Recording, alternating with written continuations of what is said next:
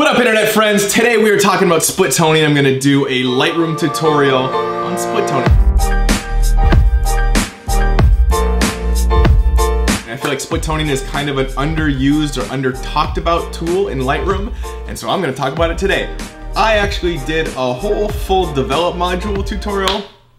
Shit was 38 minutes long, so I said, mm, not gonna air that. So I decided to split it up into sections. We're not gonna go over exposure. I'll probably do one on the HSL, but I think the key to having dope photos that are cool and stand out and are really unique is split toning. So let's get right into it. Let's look at this lovely photo of my friend Valeria on the beach. We shot this last weekend. She doesn't know I'm using this for the tutorial, but I hope she's cool with it. Anyways, so this is the edited image that I uh, that I came up with at the end. And let's have a look-see at the before, right here. Boom, so that's before. This is raw out of the camera, uh, and this is the edited version. So what I've done very briefly is done some exposure adjustments over here, you know, uh, boosted the shadows and the whites, brought the blacks down a little bit, a smidge of clarity, a smidge of dehaze, nothing on the tonal curve, but then the HSL sliders, I've done a whole bunch of stuff, which gives it its look. If you can see with that turned off, that's what it looks like, and turned on. We're bringing out the blues and the water and doing a bunch of cool stuff. Uh, I will do a tutorial on this, just not doing it today. So all of the adjustments on the HSL thing, uh, it, it affects globally the image. So if you use the slider for orange, say here, we're at minus 22, it's gonna affect all the pixels with orange in it, which is mostly her skin tone, right? So it globally, ooh, whoa, it globally does all that, right? Split toning separates the highlights from the shadows. So we can affect just the highlights and just the shadows of the image to get a cool separation in between these two things. And that I think is just a unique way to make your image pop a little bit more. So with the split toning right here, let's turn it off and we'll see what it looks like. So this is with it off, right? And this is with it, this is with it on. So what I wanted to do here is I wanted to give the image this golden sunset kind of a look, which was the vibe I was going for, but still retain the blues in the water. So let's just set this all to zero. So this is the image right here, right? Which is cool. So, but it doesn't have that golden, the golden sunset vibe, right? So one way we could do this is obviously we can, you know, we could yellow up the entire image, but that is, but that, that pulls out the blue, right? Which is not what we want to do. So going back down to split toning.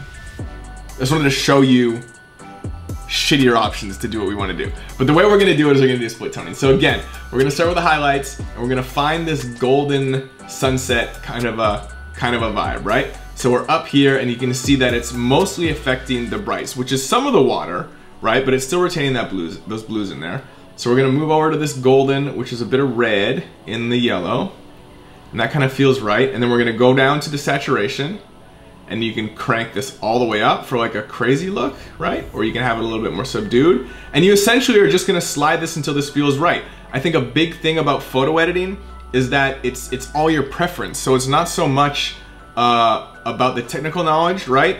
But like if you go into Lightroom and you slide all the sliders until you find the thing that you like about the image, I think that's just as a valid way as, as to, to edit your image as it is to find out the technical aspect of each tool and then edit based off that. I think that playing around with your footage and with the tools is kind of uh, the way to go. You really get to understand exactly what it's doing, right? So we are gonna play with the saturation and I kind of want this to be a little golden. So we're gonna pop that up like that, right? And then we're gonna go down to the shadows. And now it's a very standard kind of a thing to uh, warm your highlights and cool your shadows. That's sort of very common. Uh, so I would advise if you're trying to figure out like what color cast to pick when you're split toning, start there. Uh, it'll give you a general good separation in between the bright and darks and give it a, of a bit of a feel. And I also would suggest generally uh, to not go too heavy. This image sort of calls for it, but I would say on the regular, if you're just doing sort of a normal image, don't go super heavy on the split toning. It's just gonna give it a weird fake look. Uh, so try to just do it subtle. I really like it when you find that subtlety where you just look at the image and you kind of just wonder like, why, why is that one so dope? You know what I mean? Like you can't tell what's going on, it just feels dope. And I think split toning is a cool way to do that, right? So on the shadows, right? we are going to cool these off. So we're gonna find an appropriate blue. And again, for here, right, we can kind of lean a little bit more towards the, the cyan teal kind of color if we wanted to pull that out in the, in the water, or we could go more for a pure blue. Uh, I think on this one, we're gonna go a little pure blue, kind of right about there. And then again, we can adjust the intensity, right, uh, to be 100 or down to nothing. Now you can see that in her, you know, in her back and her arms and stuff, because the sun is up here, uh, she's in shadow a little bit, right? So the more we add blue, the more that her skin tone turns into this weird kind of bluey purple kind of a vibe, which is not really what we want, right? So we need to be a little careful with how, how heavy the saturation is on this. So this one's gonna be a little bit lower, right?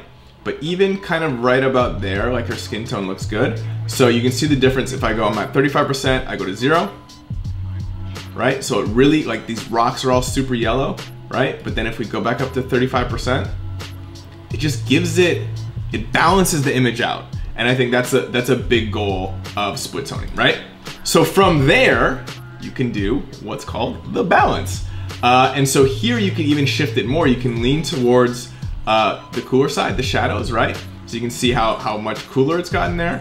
Or you can lean towards the highlight section, right? So this is getting a lot warmer. Uh, I mean, this is, think of the balance as just a bit of more of a fine tuning on split toning. So once you sort of set your two color tones, you can just sort of like play with it like a little bit more warm, a little bit more cool, or sorry, I guess technically it'd be a little bit more towards the highlights, whatever color you pick, a little bit more towards the shadows, whatever you pick. Um, and I kind of was leaning just a little bit more warm here to bring those out a little bit more. And that's kind of our look. So we can turn split toning off by flicking this button right here. And you can see how much of a difference it made, right? So that's super blue. I mean, her skin tone is fine. Um, but when you pop this on, we get this cool golden light in the in the reflection down here. You're getting the sky to be this little bit of a golden color. Her hair pops a little bit more. Um, and it just gives you this dichotomy. And even if you look in, if you go close into the water here, if I can make this work, you know, we're getting these, these warm highlights right next to this cool water, which gives it a cool look, right? If we take this, oh, I got the spinning wheel of death. Okay, if we take this split toning off again, you're gonna lose all of that, right? So you're gonna lose, if this will go, come on. My computer's slow when I do screen recording. So this is all just blue, right? Um, which is a cool, it's a nice blue, right? But it's like, to have the, in the water, to have some of this golden yellow up in these highlights, right? And then the blue down here, and then sort of the green kind of here, because it's mixing the blue, uh, the blue and the yellow is kind of giving us some green here, and then a more richer blue, the closer we go in the shadows, to get this gradient of like warm to cool tones within the image in the water is is what I think makes it really cool. And if you just looked at this, you probably wouldn't go, oh yeah, there's split toning. You'd just be like, why is why is the light so dope in that picture? So that is my super quick tutorial on split toning. I just wanted to run over this one little section because I think this is really important. So play with some split toning on your, on, on your own images. Start with a warm highlight and a cool shadow. Uh, play with the color cast, play with the saturation, play with the intensity and the balance, uh, and send me some of your photos. Tag me on Instagram. I'd love to see what you guys are doing. And uh, yeah, I'm gonna do a full tutorial on in Lightroom to show you how I do exposure, how I do the HSL sliders, how I use presets, but I'm not gonna do it all at once. I did that already and it was 40 minutes, so I'm gonna just delete that video. This is Split Tips, coming out with new videos every Monday, new vlogs every Monday. Uh, yeah, smash subscribe, comment if you use split if you don't, if you want other tips. I'm getting really into all aspects of Lightroom and I wanna share my knowledge. So check it out. If you wanna see my work, follow me on Instagram, at Cole Walliser. Check it all out. Subscribe. See you next time. All right, cool. And uh, peace.